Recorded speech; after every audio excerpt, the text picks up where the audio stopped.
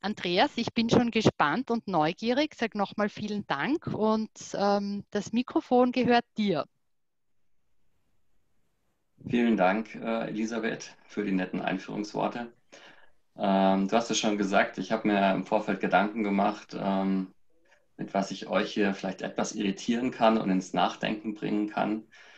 Ähm, und dann ist mir was eingefallen, was wir bei uns damals, als wir mit der Transformation begonnen hatten, ein ganz großes Thema hatten, das so nach einigen Wochen der Initiierung des ganzen Themas Beta und was ist das überhaupt, so durch die Flure waberte und, glaube ich, ziemlich viele auch beschäftigt hatte. Und dann habe ich gemerkt, ja, das ist ein Thema, was ich hier in der Community auch immer wieder an verschiedenen Ecken wahrnehme. Und dann habe ich gedacht, dann ähm, rede ich doch heute mal darüber, wenn ich die Gelegenheit habe. Wie gesagt, ich höre es auch hier in der Community immer wieder und ich lese es auch da äh, an verschiedenen Stellen in den sozialen Medien. Ähm, Sätze wie Alpha oder Beta, das ist doch gar keine Schwarz-Weiß-Entscheidung. Das ist mir alles zu dogmatisch hier. Hier gibt es sogar kein richtig und falsch. Oder diese Beta-Leute, die lassen keinen Diskurs zu. Oder was ich auch immer wieder gerne höre, auch gerade so aus der Beraterecke, man muss schon mal schauen, was sich umsetzen lässt, was ist denn realistisch. Und wenn man halt nur ein paar Elemente machen kann, ist das ja auch schon gut. Ähm, und an dieser Stelle möchte ich jetzt in äh, den nächsten Minuten gerne mit euch teilen, warum ich die Frage eben Alpha oder auch äh, Management oder Taylorismus könnte man es nennen, so nennen wir es hier in der Community eben Alpha oder Beta, diese grundsätzliche Frage, ähm, warum es aus meiner Sicht genau eine Entscheidung zu treffen gilt, nämlich was will ich? Will ich Alpha oder will ich Beta? Ähm, und hier ist mir wichtig, zuerst mal zu klären, dass wir hier in der Community und wenn wir über Alpha oder Beta reden, eigentlich immer um die Frage äh, reden und diskutieren, ähm, was gestalten wir eigentlich? Und wir reden über Systemgestaltung, also Organisationssysteme zu gestalten. Und damit reden wir immer über die Arbeit am System und nicht irgendwie in dem Organisationssystem. Ganz grundsätzlich ist es aber so, dass sowohl Alpha als auch Beta für sich genommen erstmal total konsistente, stimmige Systeme sind, die durch Prinzipien oder Gesetze, wie man es auch immer nennen will, ähm, man könnte es vielleicht auch nennen, äh, diese Prinzipien bilden so eine Art Paragraphen in einem Grundgesetz, und diese definieren sozusagen den Denkraum, wie wir überhaupt dieses System, dieses Organisationssystem denken können. Und diese äh, ganzen Grundprinzipien definieren oder leiten ähm, unser Denken. Unser Denken, wie wir Organisationen denken, welche Entscheidungen wir treffen, wie wir handeln, wie wir miteinander interagieren. Und sind also die Basis, welche Strukturen wir erschaffen ähm, und welche Denkmuster wir in unserem Kopf bilden. Wenn wir jetzt hingehen und sagen, wir nehmen äh, mal Beta als Baukasten und sagen, na, wir nehmen jetzt da irgendwas raus, was uns gerade passt, ähm, dann verkommt Beta zu einer Art Baukasten, das kann man schon tun. Ähm, und dann kann auch sein, man nimmt da was raus, was in die richtige Richtung geht. Also wenn wir zum Beispiel Boni oder Incentives abschaffen in Organisationen, ähm, dann ist das sicher eine gute Sache. Oder es gibt auch Organisationen, das haben höre ich immer auch, habe ich selber auch in der Vergangenheit gehört, ja, das Ganze hier, das machen wir ja gar nicht, das ist ja alles übertrieben und wir sind ja eigentlich schon Beta. Ähm, dann ist die Frage, ob das wirklich stimmt.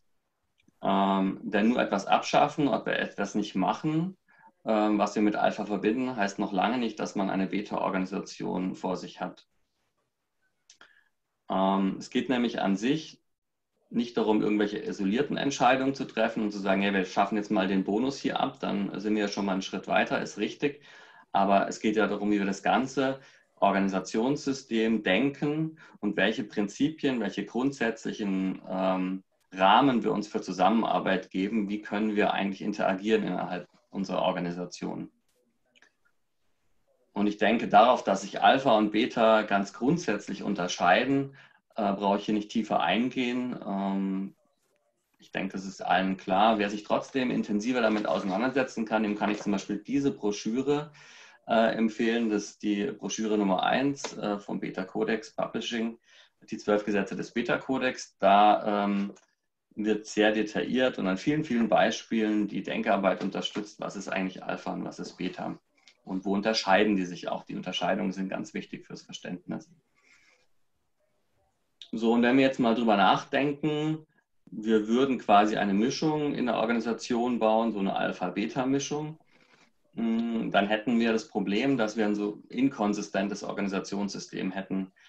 Also es entstehen Widersprüche, die daraus entstehen, dass wir irgendein Thema haben, ein Prinzip, eine Grundregel in der Organisation, die halt mit den anderen nicht vereinbar ist. Und diese Widersprüche führen dazu, dass das Organisationssystem einfach nie eine Stabilität bekommen kann. Es wird immer dazu führen, dass sich Menschen fragen, ja, was jetzt? Wollen wir Transparenz oder wollen wir keine Transparenz?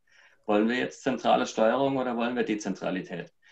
Ähm, und insoweit ähm, wird sicher schwierig, so Dinge wie ganzheitliche Leistungsfähigkeit, gute Zusammenarbeit, Selbstorganisation, äh, Verschwendung reduzieren, in Zusammenhängen denken können, ganz generell, oder auch eine Art sicheres Umfeld zu haben, ähm, wenn man sowas möchte, und ich glaube, das möchten wir alle, und es braucht auch eine gute, leistungsfähige Organisation, dann brauchen wir so einen klaren, nachvollziehbaren, verständlichen, konstanten Rahmen äh, für unser Handeln, für unsere Entscheidungen, für unsere Interaktionen. Und das kann eben nur gelingen, wenn auch die Grundgedanken, die Grundprinzipien, die äh, sozusagen die Basis sind, auf der unsere Organisation stehen, wenn die konsistent und in sich schlüssig sind.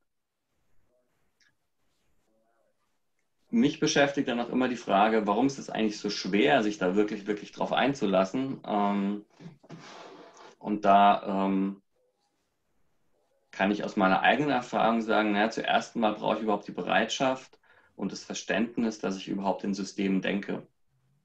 Also dieses Denken ist ähm, an vielen Stellen nicht geübt. Wir lernen es teilweise auch in Schulen und in Hochschulen überhaupt nicht. Ähm, und dadurch, dass es nicht geübt ist, ist es vor allen Dingen eins, es ist wahnsinnig anstrengend. Ähm, und dann höre ich auch häufig so Sätze wie, ja, eigentlich ist es mir zu anstrengend, ähm, also bleibt mal lieber im System. Das ist bequemer und natürlich ehrlicherweise auch viel leichter zu verkaufen. Es ist als Berater viel leichter zu verkaufen, es ist als Vorgesetzter in der Organisation vielleicht an seine Mitarbeiter zu verkaufen. Ähm, wenn man einfach im System bleibt und nicht die ganz grundsätzlichen Fragen stellt. Für mich ist das so ein bisschen so wie beim Thema Digitalisierung. Ja, das ist auch so ein tolles äh, Plastikwort. Dahinter steckt an sich äh, sowas wie Innovationen, die eine weitere Zunahme der Automatisierung zur Folge haben. Und daraus ergeben sich Veränderungen in den Marktbeziehungen, bei den Geschäftsmodellen zum Beispiel. Andere Geschäftsmodelle werden ermöglicht, andere sterben aus. Aber das ist auch nichts Neues, das gab es schon immer und wird es auch immer geben. Aber es ist halt anstrengend und es bedarf auch wahrer und teils auch sehr spezifischer Könnerschaft, um zum Beispiel ein neues Geschäftsmodell zu denken, zu erfinden. Und es ist natürlich einfacher zu sagen, ja, ich denke jetzt Lösungen in Form von irgendwelchen Tools, Methoden oder Best Practices. Und die kann ich dann schön verkaufen oder ich kann sie auch Unternehmen ganz einfach einkaufen. Und dann hat man ja auch schon den Eindruck, als würden wir was tun.